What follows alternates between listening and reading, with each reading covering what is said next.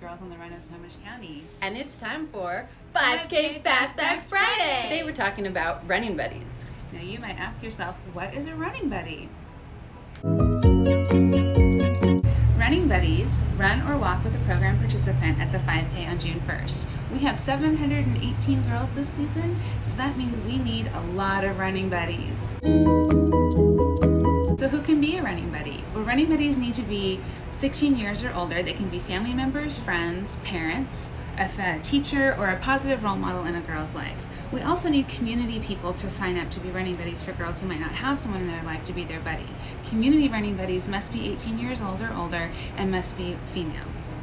Um, and don't worry, we need running buddies of all speeds and abilities because we have girls of all speeds and abilities. You as a running buddy, you'll be cheering on your Girls on the Run or Heart and Soul program participant as you run, walk, skip, or jump your way through the 5K run.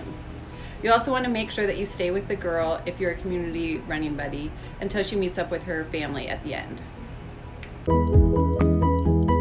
Every running buddy must register on our website. Check out the link below and get that filled out as soon as possible. There is also a $25 registration fee and that helps cover the cost of t-shirts, finisher medals, post-race festivities, course safety, and road closures this year. Running buddies should plan to arrive at Everett Memorial Stadium by 7.30 a.m. the morning of the run.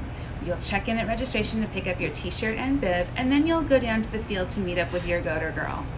Together with your GOTR girl, you guys can enjoy the pre-race festivities in the fun zone. Then be ready to start the race at 9 a.m. Is a great experience for both you and the girl you run with. You can make the difference between how the run goes for her.